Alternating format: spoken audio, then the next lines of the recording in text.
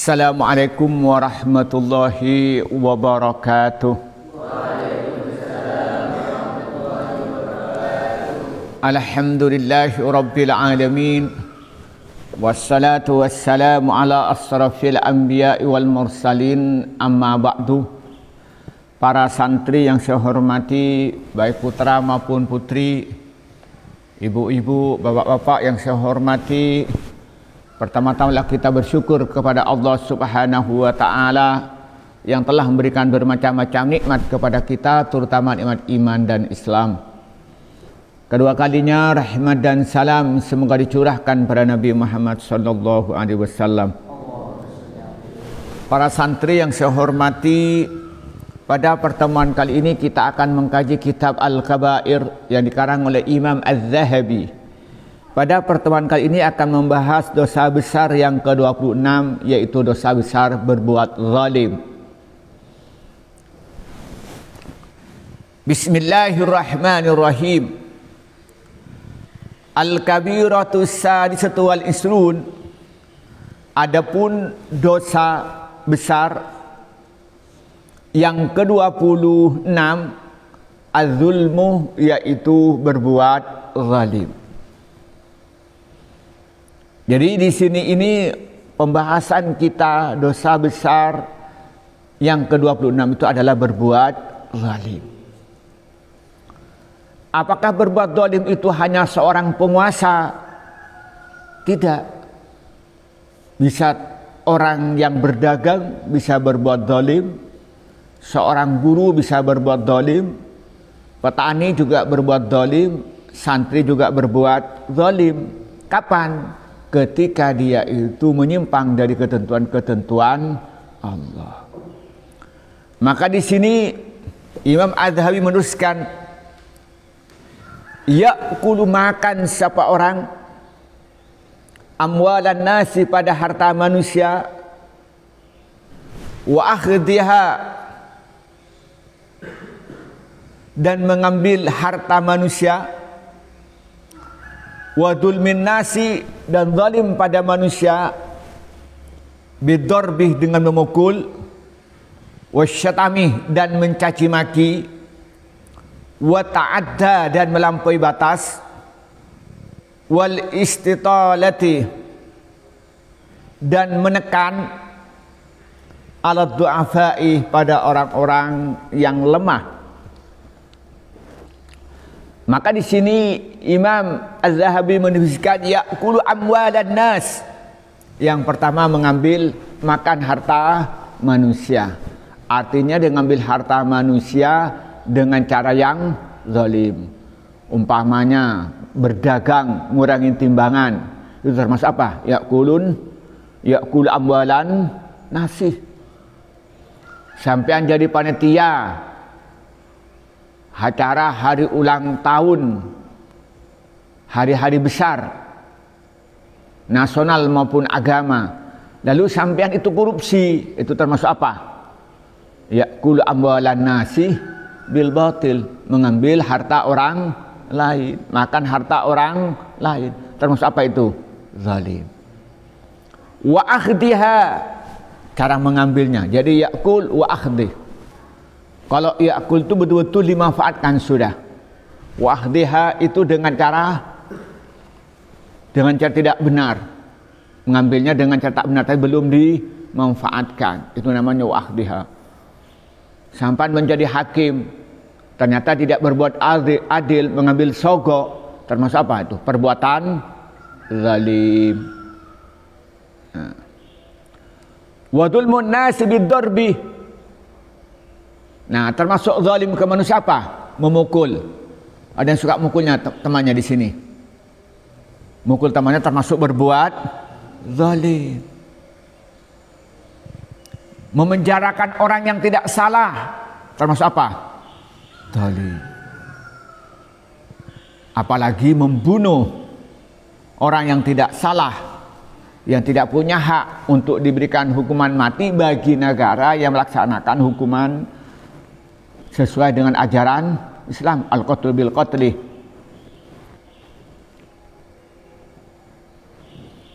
nah itu termasuk berbuat zalim. Nah, kalau sampai jadi penguasa, lalu dia bersikap wenang, mukul orang seenaknya, jadi keamanan mukul seenaknya, karena jadi keamanan di pondok lalu mukul seenaknya, apa termasuk perbuatan zalim. Nah, zaman sekarang itu sering terjadi. Kalau dirinya berkuasa, dia bersikap sewenang, menang. Menjatuhkan hukuman pada orang tanpa didasari bukti yang benar. Dengan membuat tuduhan-tuduhan palsu termasuk perbuatan zalim. Wasyatami. Nah suka mencaci maki. Nah. Itu yang dilakukan orang-orang yang kadang-kadang aktif di media sosial.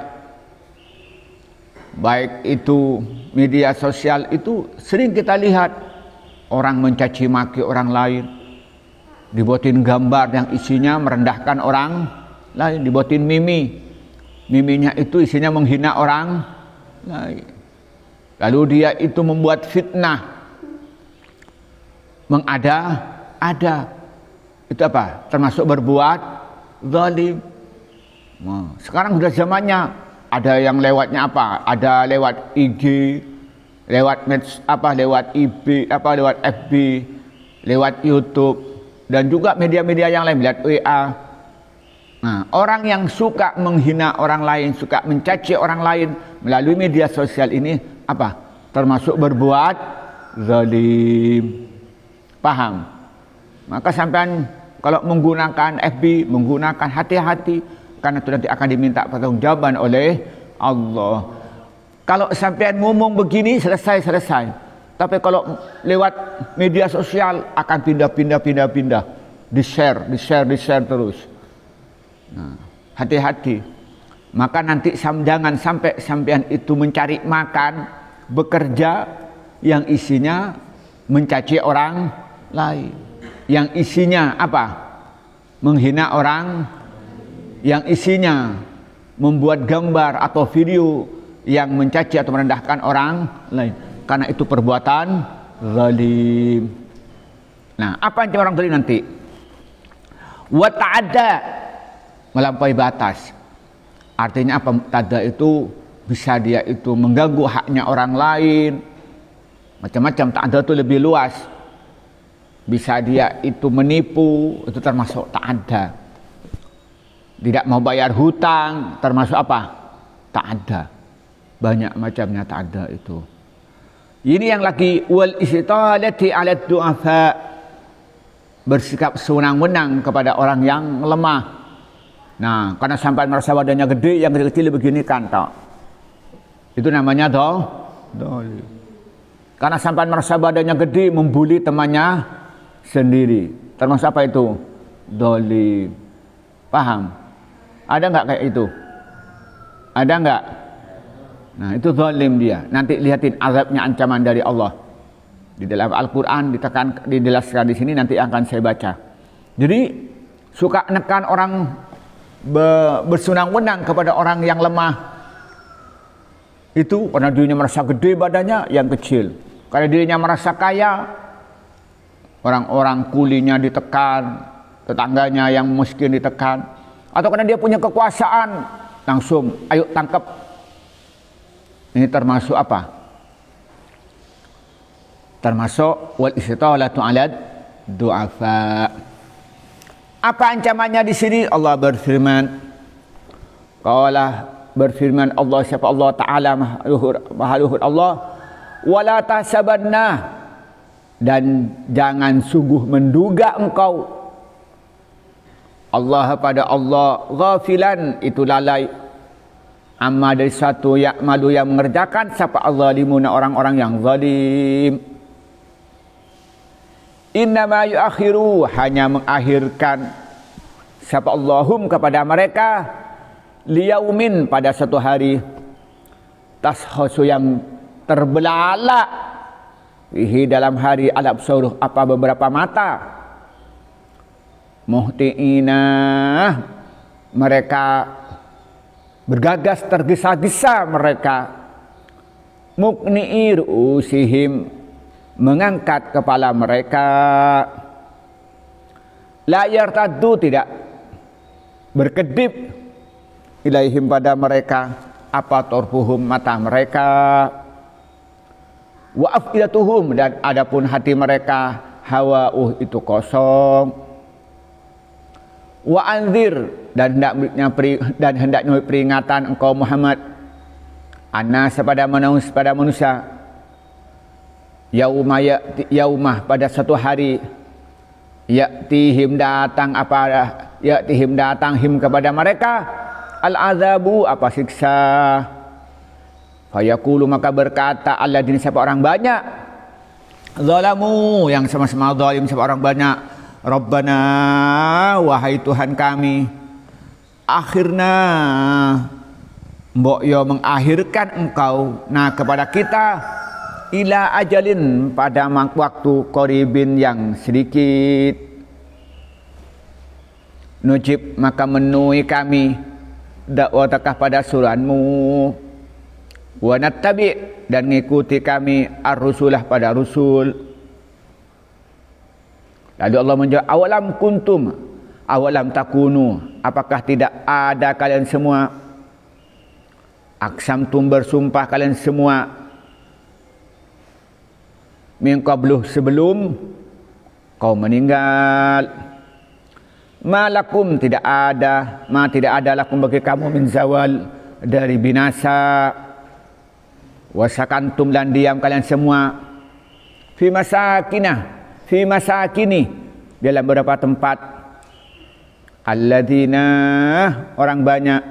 Zalamu yang zalim siapa alladzina anfusahum pada diri alladzina wa tabayyana dan jelas lakum pada kalian semua. Kaifah bagaimana fa'alna memperlakukan kita bihim pada orang-orang yang zalim wa darabna dan membuat kami lakum pada semua al-amsalah beberapa contoh di sini Allah menjelaskan wala tahsabanna alladhin wala tahsabanna Allah ghafilan amma ya'malul zalimun. Di sini Allah menyatakan jangan mengira Jangan kalian mengira bahwa Allah itu lalai terhadap apa yang dikerjakan oleh orang-orang yang zalim. Sini Allah menyatakan, "Wala tahsabannallaha ghafilan amma ya'malul zalimun." Di sini menggunakan Allah menggunakan nun taukid. Wala tahsabanna ini. Jangan engkau mengira Allah lalai. Allah tidak perhatian terhadap apa yang dikerjakan oleh orang-orang yang zalim. Yang kelihatannya ketika dia berkuasa bertahun-tahun bersikap sewenang-wenang, Ketika kaya dia itu berseunang kepada kulinya, kepada pembantunya. Jangan dikira Allah itu lalai kamu hidup lama berbuat berbuat sewenang-wenang.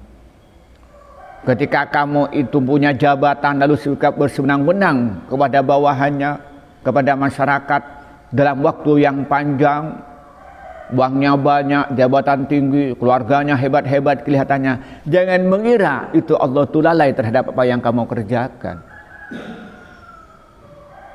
Apa kata Allah? Innama yuakhiruhum liyaumin tashasu al-absar. Allah itu memberikan tangguh. Allah memberikan kesempatan sementara. Sampai kapan? Sampai liyaumin tashasu fihi al-absar. Allah memberikan tangguh sampai pada hari kiamat di mana pada hari kiamat itu mata terbelalak, heran dan ketakutan. Karena melihat apa? Melihat ah, azab. Coba sampai nonton film kiamat itu ya. Begitu ada ombak besar, semuanya kan pada gini. Ya, itu namanya tashkhasu fihil absor. Coba kalau nonton film ya, film kiamat, kalau ombak besar pada bingung mau lari ke mana. Kemudian ada film lagi tiba-tiba tanahnya keluar api gitu ya. Orang pada bingung mau lari. Itu namanya tashosufihil absor. Tapi ini nanti di hari kiamat melihat azab yang akan menimpa pada orang-orang yang zalim. Dia itu ketakutan. Matanya orang kalau takutkan mata terbelalak. Eh, eh, eh, itu namanya tashosufihil absor. Pada waktu itu apalagi Allah menggambarkan mukniin nah katanya muhtiina mukni'i ru'usihim mereka tuh bergegas segera dia lari-lari supaya mereka terselamatkan dari azab itu. Berusaha dia menghindar dan sambil dia mengangkat kepalanya minta kepada Allah supaya diselamatkan. Jadi dia itu lari cepat-cepat dan sambil mengangkat kepalanya minta kepada Allah supaya diselamatkan dari azab yang sangat pedih itu yang akan menimpa kepada orang-orang yang zalim. La yatatu ilaihim tarfuhum mereka tidak ter, tidak terkedip sama sekali matanya karena ketakutan. Coba kalau kamu takut itu kan mesti gini tok, tak mungkin. Nah ini kayak nggak kayak ini mungkin nih. Ini kalau takut nggak mungkin tidur kayak ini nih. Ya. Ayo bangun bangun. Nah. Orang kalau takut nggak mungkin tidur. Iya apa ya? Maka di sini digambarkan la yatatu ilaihim tarfuhum matanya tidak terkedip sama sekali. Nggak begini tapi ketakutan. Kan juga orang kalau orang takut masa orang takut begini? Ada nggak orang takut begitu? Ada. Maka di sini Allah menggambarkan yaum liyaumin tashutu fihi al-absaru muhtiina muqni'i ru'usiim la yatadu ilahim tarfuhum. Ditambah lagi wa afidatuhum hawa hatinya kosong Kata-kata hawa itu artinya bingung. Apa yang harus dia lakukan? Coba kalau sampean tuh sudah melihat ketakutan, bagaimana pikiran sampean? Itu itu gambaran wa'afiyatuhum hawa hatinya kosong. Nah, di sini Allah menggambarkan di sini, hei orang-orang yang zalim, yang merendahkan orang lain, yang menyakiti orang lain, yang mengambil harta orang lain dengan zalim. Yang bersifat sewenang-wenang, jangan mengira Allah lupa terhadap apa yang kalian lakukan. Tapi Allah hanya menangguhkan nanti azabnya pada hari kiamat, di mana pada hari kiamat itu apa? Semua mata itu terbelalak Kemudian semua orang itu lari-lari ketakutan. Dan orang itu mengangkat kepalanya, orang-orang yang dolim itu mengharapkan pengampunan dari Allah. Dan mereka saking takutnya, mata mereka tidak berkedip sama sekali. Dan hati mereka itu saking takutnya, maka digambarkan wa'af idatuhum hawa, hatinya kosong, tidak tahu apa yang harus mereka lakukan. Dan Allah menambahkan wa andirin nasa yauma ya'tihimul azab. Wahai Muhammad, berilah peringatan orang-orang yang zalim itu. Ingatkan pada mereka di mana nanti akan tiba suatu hari akan menimpa kepada mereka azab yang sangat pedih. Kenapa? Semua orang akan mati. Mulai Fir'aun yang seorang menang itu mati dan itu akan mendapatkan azab. Namrud yang bersikap menang itu mati dan akan mendapatkan azab. Begitu pun orang kaya kayak Korun mati akan mendapatkan azab. Begitupun sejarah kaum Ad, kaum Samud, semuanya. Nah, maka di sini katanya wa andirin nasa yauma ya'tihimul azab. Apa yang terjadi orang-orang yang zalim ketika dia sudah melihat melihat azab yang akan menimpa pada dirinya apa menyatakan? Fayaqulul ladina zalamu rabbana akhirna ila ajalin qaribin. Nujib da'wataka wa nattabi wa nattabi'ir rusulah. Ya Allah katanya maka orang-orang yang zalim itu berkata orang-orang yang zalim tadi apa katanya? Ya Allah berikanlah kami tangguh pada waktu yang sedikit saja kami beri waktu sebentar saja. Kamu kalau beri beri waktu, maka kami akan menuhi suruhanmu. akan mengikuti Al-Quran dan akan mengikuti Nabi Muhammad. Dia akan berang kepada Al-Quran, berang kepada hadis Nabi. Jadi mereka itu ketika melihat azab orang-orang yang melihat yang akan menimpa pada dirinya, dia minta kepada Allah, "Ya Allah, berikanlah kami tangguh.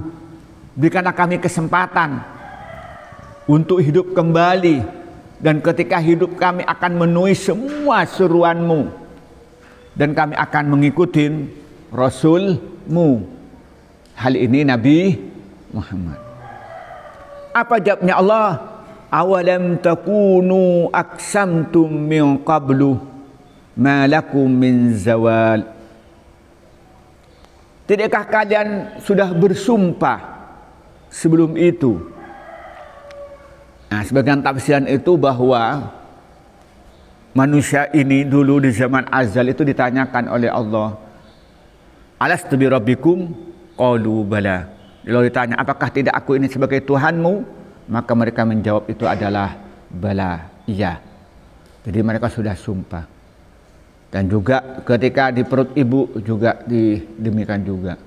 Yang ketiga, orang itu hati nuraninya pasti itu menginginkan untuk orang baik. Contohnya begini. Semua orang itu akan berkata bahwa mencuri itu tidak baik. Tanyakan kepada pencuri itu, tanya, mencuri baik atau tidak? Mesti jawabnya tidak baik. Buktinya apa? Coba kalau dia mencuri lalu dicuri oleh orang lain, marah nggak kira-kira?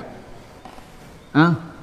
Ada pencuri, mencuri sapinya orang, setelah mencuri oleh teman pencuri juga dicuri lagi. Mangkal enggak kira-kira? Berarti kan mencuri itu diakui sebagai perbuatan yang jelek. Coba yang suka mencaci orang, suka mencaci orang, ya, yang suka mencaci itu coba dicaci, marah enggak kira-kira? Marah. Berarti dia itu ngakui bahwa nyaci itu jelek. Sampai tukang caci pun juga menyatakan jelek. Nah, coba Tanyakan kepada orang yang suka apa sewenang-wenang itu. Tanyakan, bagaimana kalau ketika dia tidak menjabat lalu oleh orang ditekan orang lain, marah nggak kira-kira? Marah. Maka di situlah ingin menyatakan di sini, ketika mereka itu sudah melihat azab yang sangat pedih yang akan menimpa kepada mereka, mereka itu minta kepada Allah supaya berikan tangguh waktu sedikit saja dan berjanji mereka akan mentaati Allah kan berjanji akan mengikuti Rasulullah. Tapi Allah menjawab, tidakkah kalian sudah bersumpah akan taat kepada aku dan akan mengikuti Rasul-Rasul yang kami kirim? Nah, apa tadi? Malakum min zawal. Maka nanti akan mendapatkan adab terus menerus, mereka tidak akan hancur. Terus mereka. Dan Allah menyatakan, Wasakantum fi masakinil ladhina zalamu anfusahum. Dan mereka akan menempati tempat-tempat tinggal yang ditempatin orang-orang yang zalim pada dirinya sendiri. Artinya mereka akan menempati mana? Api neraka. Di situ apinya sangat panas. Ketika kulit terbakar, kembali lagi. Ketika kulit terbakar, kembali lagi. Kenapa? Supaya liyadukul azab. Supaya merasakan pedihnya siksaan. Kalau kulitnya terbakar, mati, selesai. Tapi begitu terbakar, ganti lagi, ganti lagi. Siapa kata Allah liyadukul azab. Supaya mereka merasakan pedihnya siksaan. Allah menyatakan wa tabayyana lakum kaifa fa'alna bihim. Dan sudah jelas bagi mereka bagaimana Allah cara memperlakukan orang-orang yang zalim. Artinya apa? Di dunia kelihatannya nampak orang sudah berbuat zalim, nampak bahagia, jabatannya tinggi, hartanya banyak, anak-anaknya ganteng-ganteng. Itu bukan berarti Allah itu lalai tapi Allah berikan kesempatan yang pertama bertobat kepada mereka. Barangkali mereka masih sadar.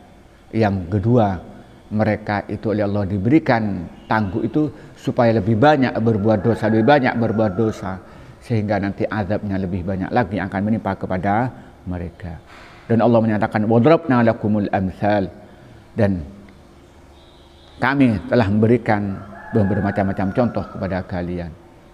Bisa diartikan di sini Allah memberikan contoh kepada umat-umat terdahulu yang berbuat zalim. buat berdolim berkenaan dengan individu atau sebuah sistem. Nah, artinya apa? Ayat ini menjelaskan kepada kita, kita ini harus menghindari perbuatan zalim. Perbuatan zalim itu adalah dosa besar dan akan mendapatkan azab yang sangat pedih dari Allah. Kalau di dunia bisa selamat dari azab manusia, tapi dia tidak akan selamat dari azab Allah. Di mana di situ itu raja hanya Allah. Maliki yaumiddin, Maliki yaumiddin. Ya ini Allah itu itu adalah merupakan raja pada hari kiamat.